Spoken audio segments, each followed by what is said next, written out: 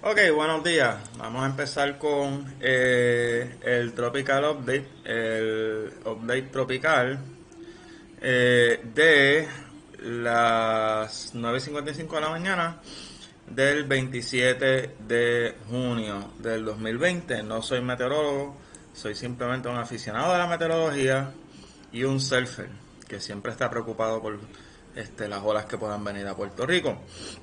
Ok, y básicamente aquí todavía tenemos a 92L, eh, una onda tropical bastante amplia, eh, con una zona de, rotación evidente bastante amplia. Eh, por ejemplo, si nosotros vamos a las imágenes de agua precipitable,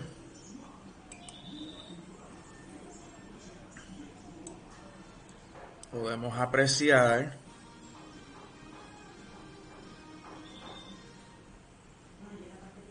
la rotación en esta área.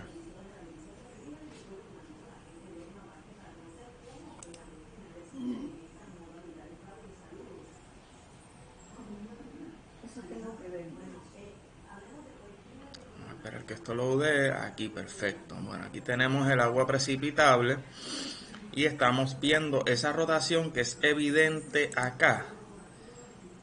También es evidente acá, pero sigue siendo una onda tropical. Esto es una onda tropical más clásica, simplemente pues una línea, cosa que también es visible en el mapa de, de, análisis superficial de la NOAA, donde vemos la onda tropical aquí, tenemos la baja presión de 1008 milibaras aquí y tenemos la onda tropical saliendo de África. Aquí tenemos a Hanna, que ya tuvo el último aviso, eh, con 1004 milibaras ya a mitad de México. ¿Ok? ¿Qué es lo que pasa con 92L? ¿Por qué no se desarrolla? Etcétera, etcétera, etcétera. Bueno, número uno, eh, esta onda tropical es grande bastante grande, tiene un área bastante grande eh, este, que recorrer. Vemos la rotación, va básicamente, vamos a ver si aquí en, en, este, en Google Earth, fíjate, me, me quitó las nubes. Hubiese sido bueno poder este, medir el área en Google Earth, pero es un área bastante grande eh, diría yo, de, esto, esto es el Intertropical Convergence Zone, ¿okay? la zona intertropical, intertropical de convergencia que sería aquí. ¿okay? Y estamos hablando de fácilmente unas 400 millas. Fácilmente. Fácilmente. Eh, o sea que al revés de Gonzalo, que Gonzalo pudo eh, formar ese centro de rotación mucho más fácilmente, este sistema no.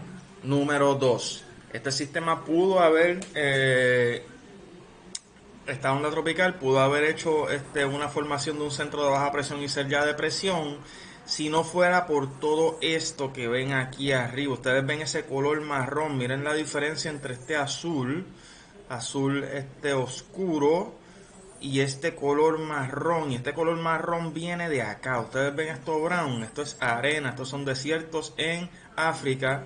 Y el viento saca la arena del desierto de África como este polvo fino. Y eso eh, es dañino para las tormentas, es dañino para la formación este, de sistemas. Y ven como toda esta área alrededor está llena de ese polvo del desierto de Sahara y nosotros aquí en Puerto Rico estábamos en, un, en estos días, ¿verdad? Los que estamos aquí en Puerto Rico hemos notado, eh, o por lo menos yo he notado claramente, eh, mucha bruma. Y vean como la bruma que hemos tenido en estos días, que fácilmente puede ser esto de aquí, jamás y nunca es tan fuerte como lo que va a llegar. Miren lo que va a llegar aquí. Es una bofetada de bruma bastante intensa y eso inhibe la formación de convección, eso inhibe el desarrollo de sistemas tropicales. Así que tenemos aquí, por ejemplo, la onda tropical que va a llegar próximamente, está bastante lenta en comparación con 92L. Y si nosotros vemos los productos de Saharan Air Layer, de sal, o polvo del desierto de Sahara, podemos apreciar, ¿verdad? estos colores más intensos, eh, intenso rojo tirando a blanco, eso es la intensidad mayor y hacia el amarillo es menor, hasta que llega lo azul, que verdaderamente pues no este, tiene esa cantidad de polvo del desierto del Sahara. Eh, o este dry air, aire seco, en los niveles bajos y medios, ¿ok? Y aquí dice and or eh, dusty sal air mass, ¿ok? Y aquí tenemos toda esta masa, ¿verdad? Incluso dentro de la estructura de lo que sería la onda tropical. Ha penetrado esa onda tropical, así que tenemos un desarrollo inhibido ¿ok? Y aquí tenemos la onda tropical que se acerca a Puerto Rico, que tenía este, incluso mucho más, más convección, más tronadas que lo que tenía 92L. Estaba mucho más activa, ya está en el área de, este, entiendo que eso es Guadalupe, si mal no tengo entendido. Guadalupe, Antigua Barbuda, Montserrat, ya está por esa área, ¿ok? Y esto debe de estar haciendo su approach a Puerto Rico entre hoy por la noche y mañana. O sea que esperen eh, días lluviosos. De hecho, si yo voy a, al Wonderground, eh, yo pongo aquí San Juan por decirlo así, eh, porque es donde yo vivo.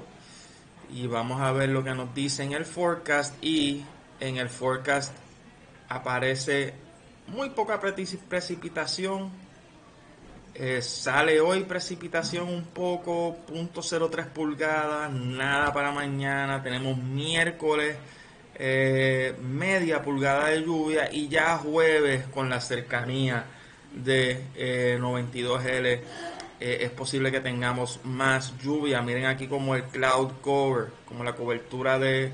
esta, esta es la área gris. Aquí hoy tenemos que no va a haber tanta eh, tanta nubosidad, pero ya mañana tenemos un 60% de nubosidad, 50%, eh, ya para el jueves un 74, 82% de nubosidad y el chance de precipitación para el jueves ya está en los 60%.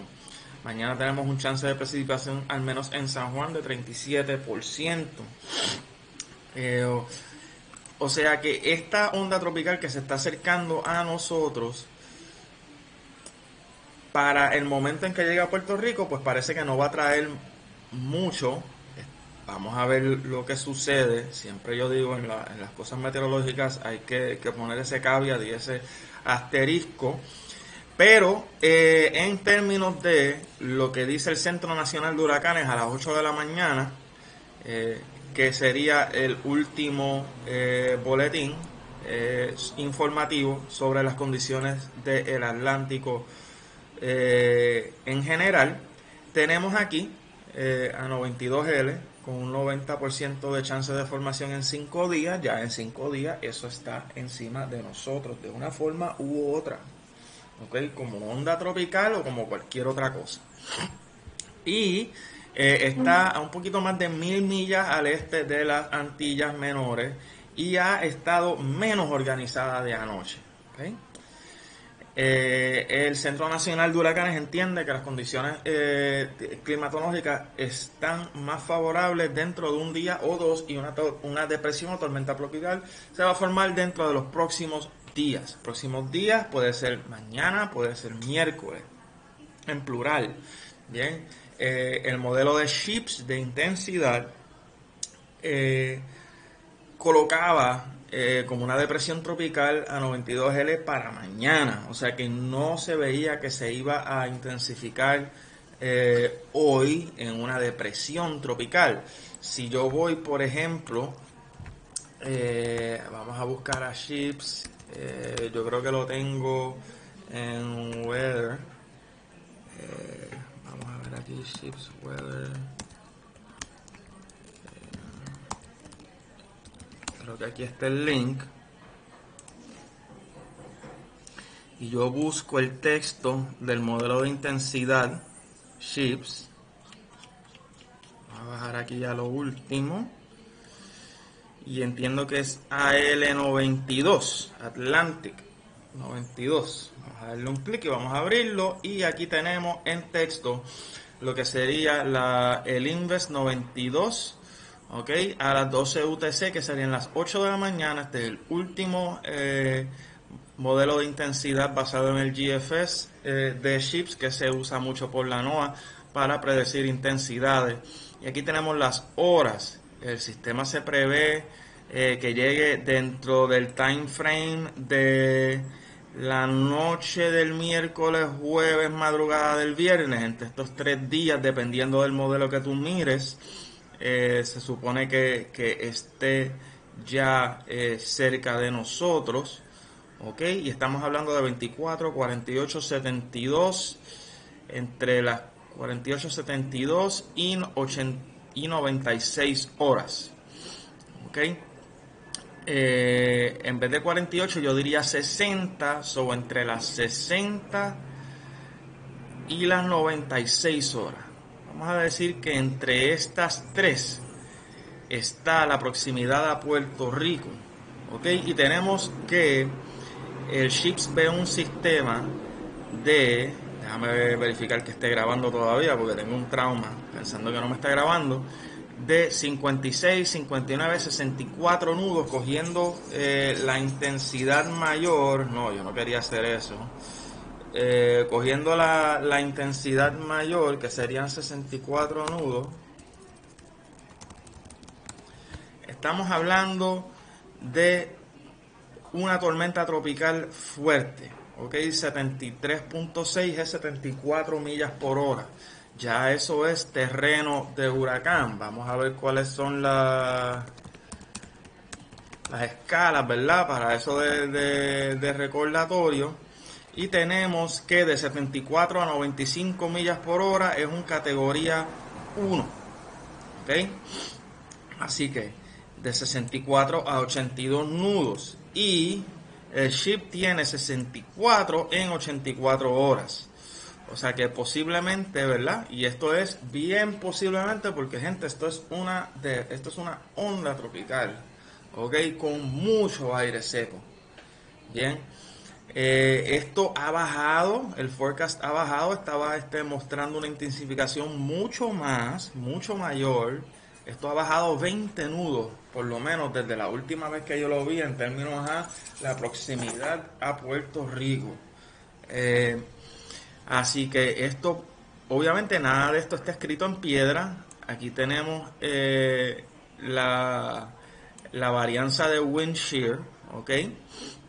En lo que nos concierne a este, nosotros aquí en Puerto Rico tenemos un wind shear más bajito y eso propende a un sistema más fortalecido. Vean aquí como cuando el wind shear sube, el sistema de 64 nudos no se intensifica más, incluso se puede debilitar un poco. Ahora mismo Ships indica que hay wind shear en la proximidad y alrededores de la tormenta. Si yo voy a eh, el producto de Sims para ver wind shear, bueno, yo lo puedo ver acá. Aquí yo puedo ver wind shear. Aquí vemos que hay un anticiclón encima de 92L, lo que propende a desarrollo. Tenemos eh, viento cortante al norte de lo que sería el anticiclón de 25 nudos, 20 nudos, 15 nudos, ok, 10 nudos en esta área y 5 nudos aquí, ok. Toda esta área aquí es de 15 nudos y quizás eso es lo que está viendo Ships. ¿Ok? Quizás eso es lo que está viendo Ships aquí. Así que cuando se refiere a fortalecimiento porque tiene un, tiempo, ¿verdad? una zona más favorable, entiendo que se refiere a aquí. Una vez que llega, ¿verdad? A 35 millas por hora de 35 a 40 es una depresión tropical y eso se prevé que sea dentro de 18 y 24 horas. Es decir, que para mañana, para mañana, básicamente eh, mañana en la mañana, mediodía, por la tarde, es bien probable que tengamos una depresión tropical consistente con lo que decía antes. Aquí no hay inconsistencia en términos de chips, intensidad, GFS, no la hay. Eh, donde sí eh, ha bajado su forecast es en el forecast más long range, ¿ok? Pero en el corto plazo, en el corto plazo sigue entre las 18, de 18 y 36 horas haciendo un forecast de una depresión tropical y en lo que a nosotros respecta, una depresión tropical fuerte, una tormenta tropical fuerte o incluso hasta un huracán. O sea que sí tenemos que estar, ¿verdad? Huracán categoría 1, tenemos que estar alerta. Eh, un sistema más fuerte propende a ir más al norte y eso lo vamos a ver confirmado nuevamente en modelos más adelante. Pero hay que aclararle a todo el mundo que esto es una onda tropical y que mientras más débil, más inciertos los modelos. Onda tropical es de lo más débil que hay. O sea, quizás menos que onda sería nada. Pues onda es un poquito más allá de nada. Es una ondulación en los vientos. Eh, aquí tenemos el calor eh, del océano. Vean cómo de 27.9 grados Celsius sube a 28.8, eh, casi 29 grados Celsius en la cercanía a Puerto Rico y luego, ¿verdad? Se mantiene bastante caliente. Miren cómo aquí el, el, contenido de, de, calor oceánico va de 34 eh, a el approach este a Puerto Rico 32, 49, 35, 42. Ok, así que entonces el agua está más caliente mientras más se acerque a nosotros. Eso quizás eh, puede ser una de las razones por las cuales lo intensifica a casi eh, huracán o ya huracán eh, en, este, en esta parte del forecast, tormenta tropical fuerte a huracán. Gente, con Gonzalo esto no sucedió, o sea, con Gonzalo it didn't pan out, no sucedió, o sea que esto simplemente es un modelo matemático cogiendo todas estas variables y tratando de predecir lo que puede pasar en el futuro. Esto no era, eh, muchos de estos modelos, la inmensa mayoría de estos no era available to the public, no estaba disponible para que nosotros lo viéramos antes, o sea que lo teníamos que hacer a pulmón y como quiera se hacía. ¿ok?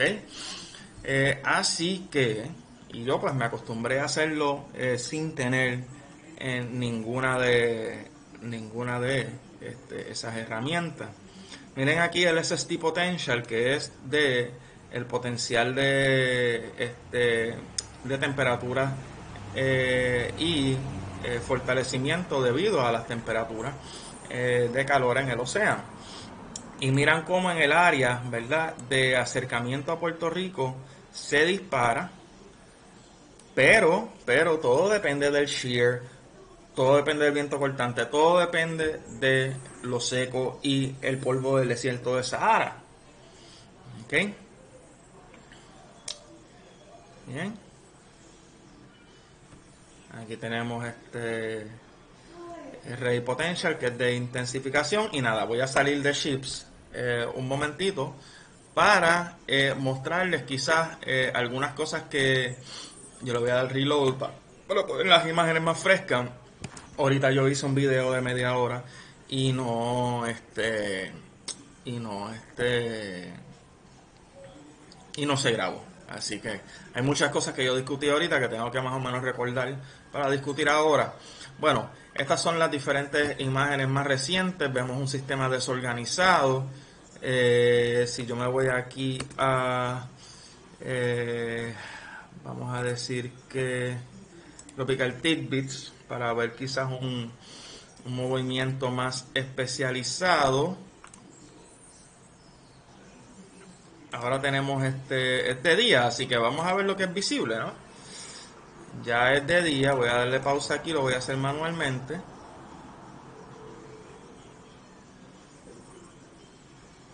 A ver si podemos cachar en los niveles bajos algún tipo de rotación evidente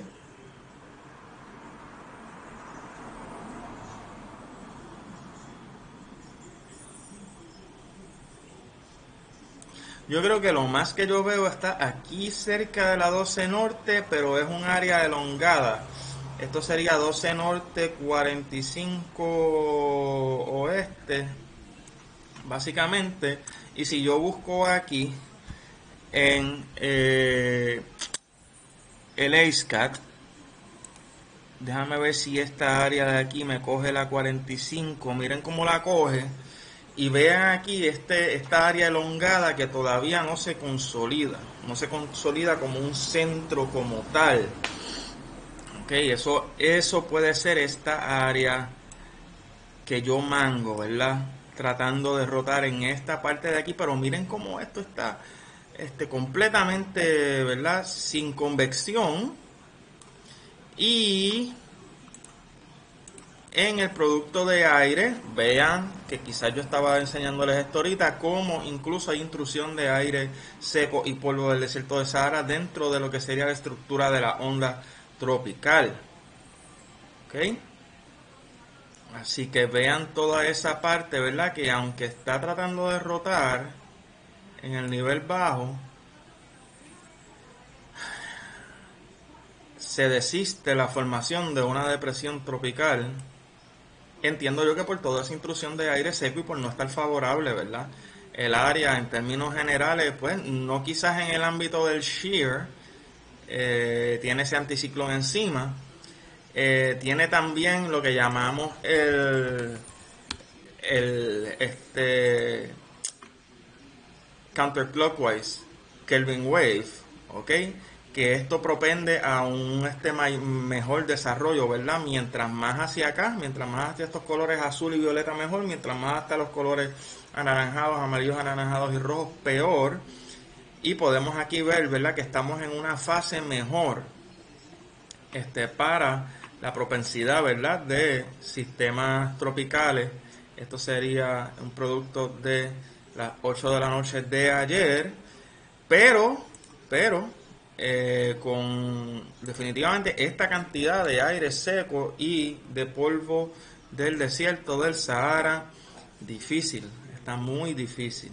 ¿okay? Miren lo grande que es, miren lo grande que es esta área para poner a rotar todo esto alrededor de un centro como tal, toma tiempo y tiene este factor negativo que estamos viendo alrededor de del sistema. Yo hace unos días estaba hablando con, con en un chat de, de, fanáticos de la meteorología sobre este, este problema que se iba a enfrentar y que estaba enfrentando en ese momento, porque se veía claramente en las imágenes de agua de vapor que les voy a enseñar a diferentes niveles. Y me estaban diciendo que no, que estaba este shielded, que estaba moist, que estaba húmedo, que no iba, estaba protegido, que nada iba a pasar. Eh, en términos de, que se le impidiera el desarrollo por falta de, humedad eh, y aire seco, eh, y ya ustedes pueden ver cómo eso ha sido un factor. Yo no llevo este 25 años bien, bien, bien heavy haciendo esto por, por nada. O sea, uno aprende algo y esas son algunas cositas que uno, este, bueno, si cuento desde Hugo, bendito, pero desde que tengo internet y realmente me estoy metido dentro de foros de meteorología y, viendo este, imagen de satélite, estudiando, etcétera, etcétera, pues ponle que 25 años más o menos. Y eso no pasa en vano. Uno se da cuenta de ciertas cosas. Miren aquí como en la imagen de vapor de agua a niveles medios, miren cómo está rodeada de aire seco y polvo del desierto de Sahara a niveles medios, a niveles medios, que sería, imagínense un vórtice, imagínense un tornado, niveles bajos es lo que se necesita para que pegue y sea como tal nombrada o clasificada como una depresión, tormenta, huracán, etcétera. Sin esa consolidación en niveles bajos no tenemos depresión, no tenemos nada. Y esto va desde arriba, desde los niveles altos, en donde sí hay humedad. Ok, si vemos en el upper level, si hay humedad, si tenemos este, esta parte aquí que seca incluso desde el principio. Si tenemos esta área aquí y la ha acompañado desde saliendo de Cabo Verde, este cantito de aquí, ¿ok? que está más seco. Miren aquí la onda tropical que está este, por acercarse a nosotros.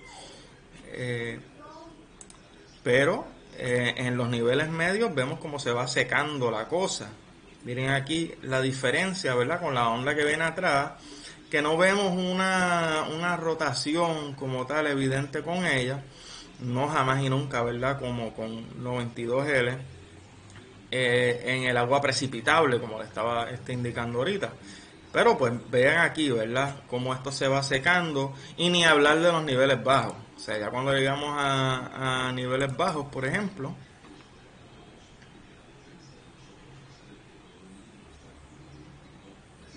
pues en niveles bajos miren cómo está este el ambiente.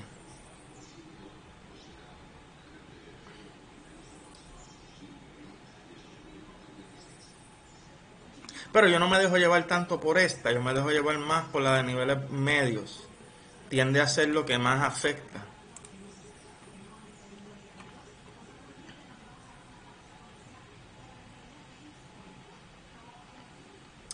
Y ahora que ven esta bola convectiva aquí, yo les voy a enseñar cómo eso se ve en el mapa de convergencia, divergencia y vorticidad. Vamos acá. Bien, Vamos a ponerlo visible, ¿ok? Vamos a ponerlo visible y vamos a ponerle la vorticidad. La vorticidad aquí tenemos este, un área elongada de vorticidad eh, más propende, ¿verdad? A una onda tropical que es lo que es, ¿ok? Cuando vamos a la convergencia que es abajo, en los niveles de 850 milibaras, por ejemplo, abajo tocando tierra, ¿ok? Estamos viendo el vacío. El vacío de convergencia. ¿Ok? Aquí tenemos un círculo de convergencia atrás y tenemos convergencia en toda esta área de la zona intertropical de convergencia. ¿Ok? O sea que pues, es donde es. Ahora, en la divergencia, que es en niveles altos, miren cómo esa bola convectiva, ¿ok? Tiene convergencia tiene divergencia en niveles altos y tiene este eh, vorticidad. ¿Ok? Y entonces miren cómo, ¿verdad? Aquí es básicamente un área elongada, nada consolidado. Se supone que estas tres cosas estén bastante unas encima de otras. Eh, nuevamente, vorticidad, convergencia en niveles bajos. Miren lo, lo separado y elongado que está y divergencia. ¿Ok? Elongada. Donde más convergen todas las cosas es aquí y acá. ¿Ok? Y entonces imagínense unos modelos meteorológicos. Si vamos a entrar entonces a la parte de modelos, imaginen unos modelos meteorológicos tratando de predecir dentro de este escenario. Es, es quizás de lo peor. No, o sea, estamos hablando de lo más incierto. ¿Ok? Así que vamos, vamos a, ver, ¿verdad? ¿Qué, nos indican esos modelos? Vamos a usar eh, de las regiones. Eh, vamos a usar esta que es más, más grande. Y yo voy a mirar.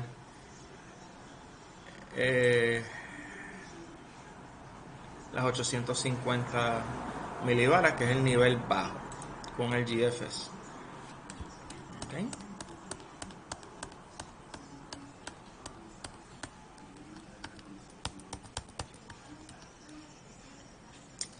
Aquí en el GFS tengo un sistema bien, bien desorganizado, contrario a lo que dice Ships. ¿ok? Contrario a lo que dice Chips. Incluso tenía ahí algo como empezando a, ¿verdad? Como saliendo y empezando a... Pero nada que ver. Nada que ver. Echamos para atrás. Estamos hablando de las 2 de la mañana del viernes, ¿ok? Vamos al euro. Euro a las 00 horas. Esto sería de las 8 de una corrida de las 8 de la noche de ayer. Tiene una onda tropical, ¿ok? A las 8 de la noche del jueves.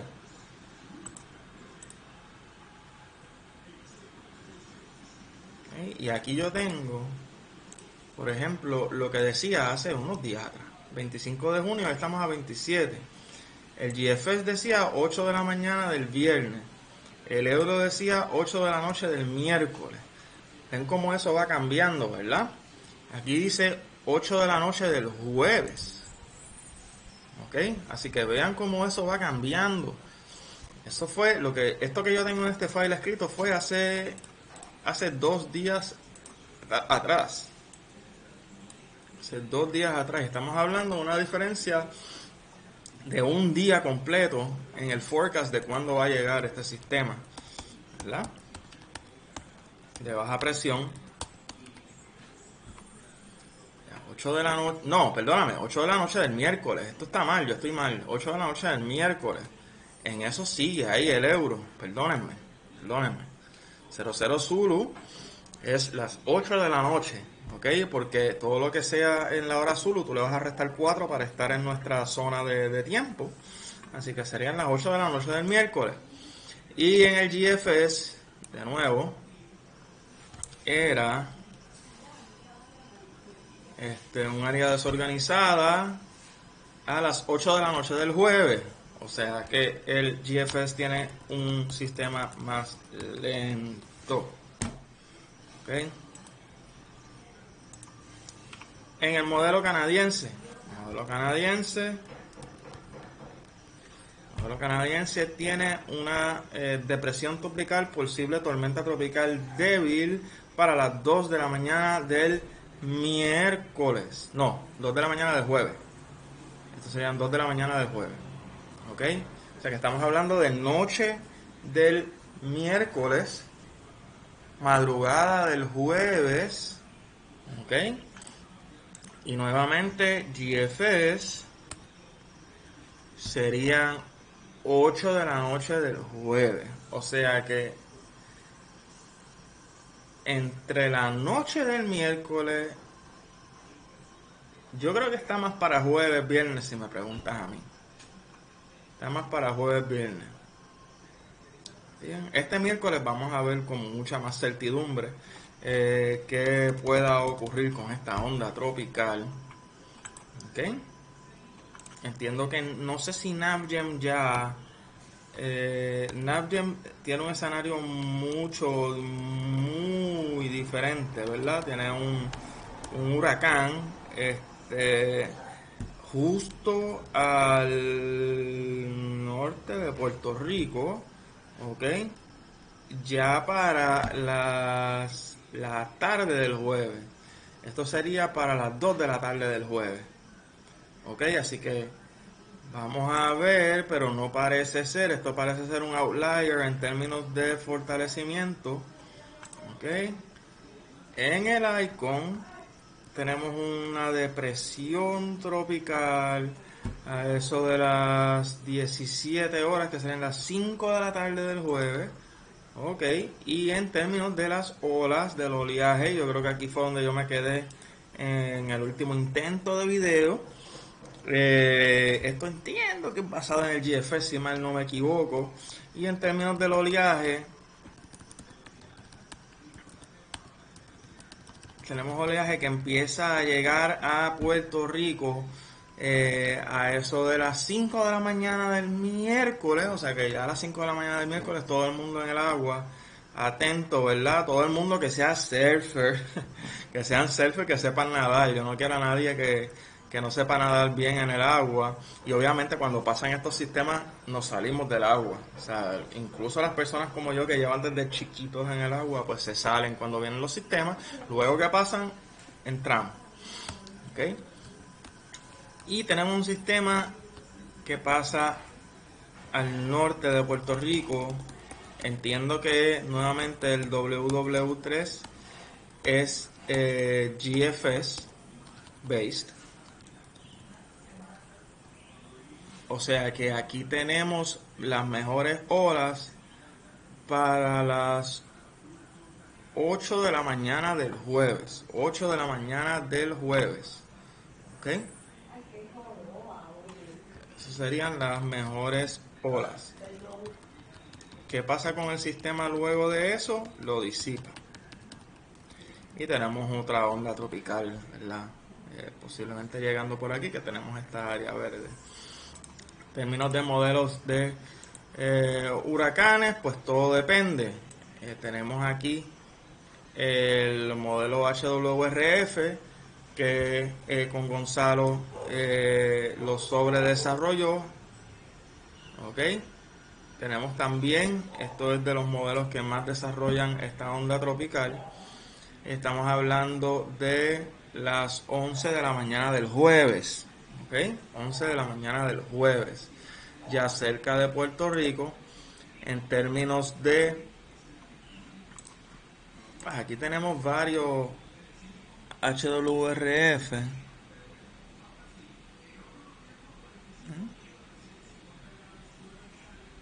11 de la mañana también. El H-Mon. También tiene un sistema más fuerte, yéndose más hacia el norte de Puerto Rico sin afectar tanto la isla. Bueno para surfing.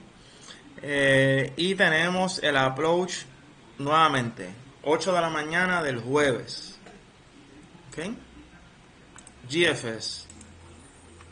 GFS en modelo de huracán, lo mantiene como una onda tropical, este, pasando interesantemente, es más lento que los otros modelos a las 8 de la noche del jueves, pero más hacia el norte, y eso yo se lo puedo explicar quizás ya terminando este video.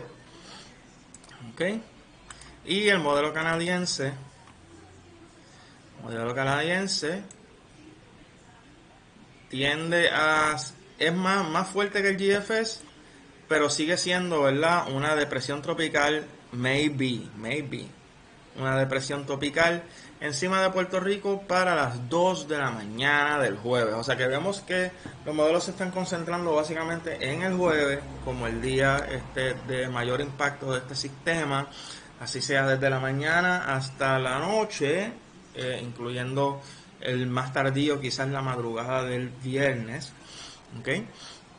Y eh, como pueden ver, hay un spread bastante gigante porque esto es lo que es. Es una onda tropical que está seriamente asediada eh, por viento, por este aire seco y polvo del desierto del Sahara. Y aquí, por ejemplo, podemos ver por qué la solución quizás de coger eh, más hacia el norte, aquí tenemos la alta presión y vemos que hay un break, ¿ok? Vemos que hay un rompimiento entre altas presiones y tenemos un lugar por donde un sistema más fortalecido puede entrar quizás y subir. Tenemos también esta baja presión, este frente. Eh, esto tiende a debilitar la alta presión en donde la toque ¿ok?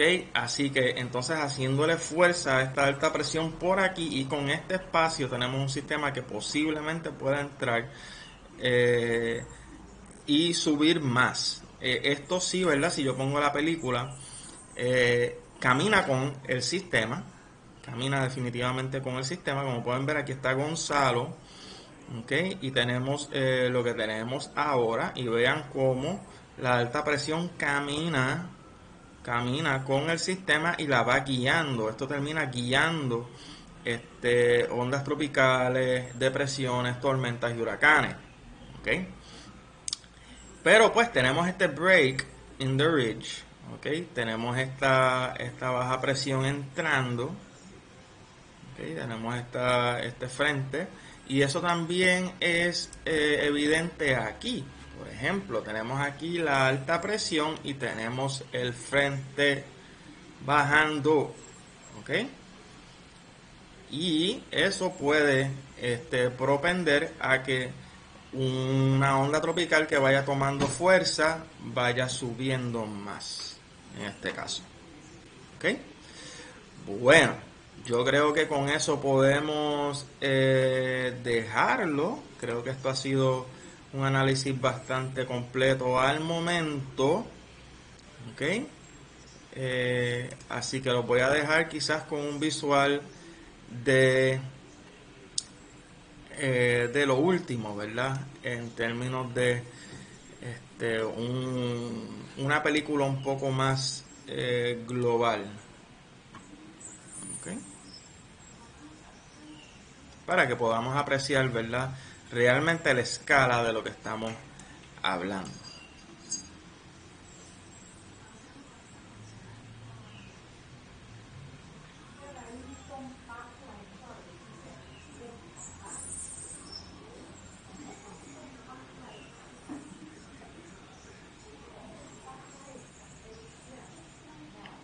Parte, de lo que nosotros vemos como marrón también es el sol pasando por encima.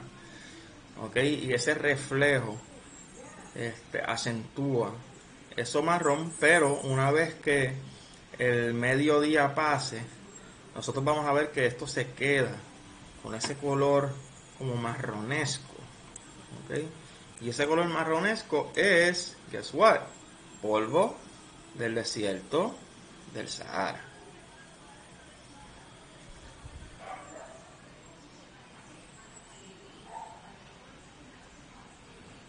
Ven cómo va cambiando el color según se va yendo el sol.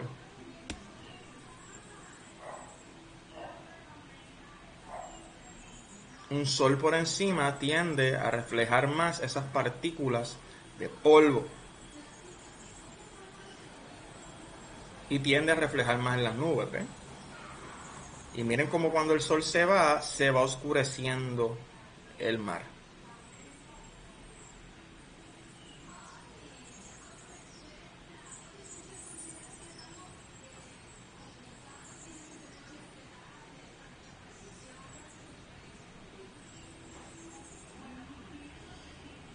darle refresh para esos últimos frames.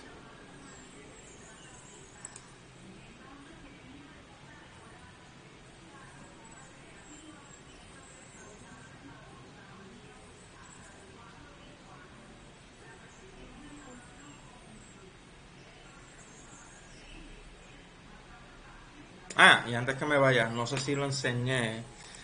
Eh, y si lo enseñé, pues, pero, eh, pues sí, obviamente. No hay un centro de circulación definido, elongado. Este, esto es una onda tropical clásica. Bueno, tengan buen día.